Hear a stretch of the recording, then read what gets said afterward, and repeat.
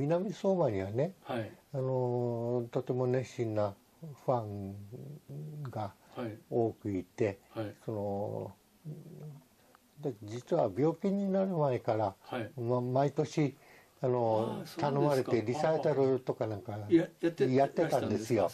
ででもその時代にはねあの南相馬にはえああいう立派な文化会館っていうのはなかったんです。あそれで結婚式場を使ったりあ公民館みたいなところでやったりというでもそれでも毎年読んでください。それが大事なんですけどね、えええそれであのー僕が病気をしてはい。まだもう何にも弾けることになるのかもうピアニストとしての寿命は終わったんじゃないかっていうような時にその新しく市長さんはい。に出出た、はい。えー方がね新しく文化、はい。市民文化会館をあ建てるっていうことああそうですか。勧められてそのでき出来上がったんですよ。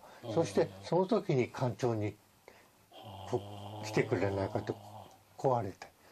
僕何もできない時ですよ。うんもう体もろくに動かないし話もろくにできないしというのそんな時代にそれでも館長としてお願いしますという。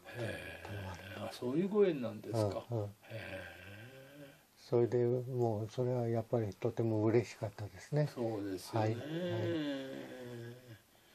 い、や時が時だけに本当はい。にまた今ね、ええ。大きなダメージ受けてますけど、なんとかえ新しい道を模索してらっしゃると思いますね、そうですねえ